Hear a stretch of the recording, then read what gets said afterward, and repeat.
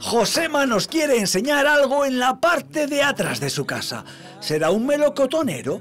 Porque lo parece. no, estos son caquis. Es una fruta que aquí la verdad es que hay poca. Y yo aquí, pues en esta pequeña parcela de, llamémoslo huerto aquí al lado de casa, eh, pues tenemos una serie de árboles y mira, aquí está medio ecológico que digo yo, pero, pero está bueno y todos los años tiene. Ahora van duros, están muy crudos y le falta mucho tamaño todavía por, por ganar. Lo labramos y demás para que no se nos llene de hierba, que ahora tiene bastante.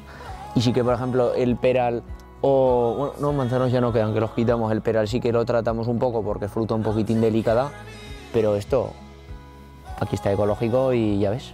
En su día nos dijiste que este árbol era de una variedad muy concreta de kaki. Eh, ¿Te acuerdas de cuál? El persimón. Yo el que tengo es redondo total y se llama persimón, el que tengo yo.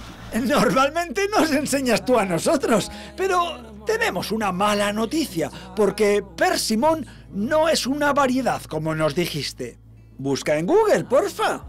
Persimón, ah, pero con la R de registrado arriba. Es una marca comercial registrada por la denominación de origen eh, para que el consumidor reconozca que es un kaki, porque son a los que les quitan la aspereza para que se puedan pelar como una fruta normal.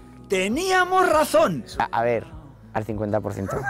Ah, yo, yo, te he dicho que era un tratamiento y eh, lo han utilizado para eh, hacer una denominación de origen, lo cual desconocía. Os agradezco que me hayáis aportado este, estos conocimientos.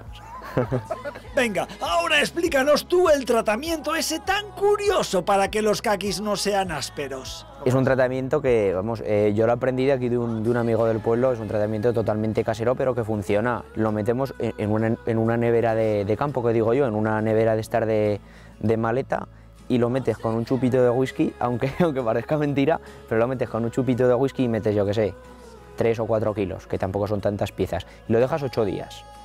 Y después de 8 días lo sacas, el chupito está igual, pero resulta que no tiene nada de aspereza el kaki. Yo la verdad es que nunca lo había hecho, probé el invierno pasado y me sorprendió y, funciona. Eh, ¿No nos emborracharemos con eso? No, no, no, ya te digo que no tiene nada de, de olor ni de sabor al whisky.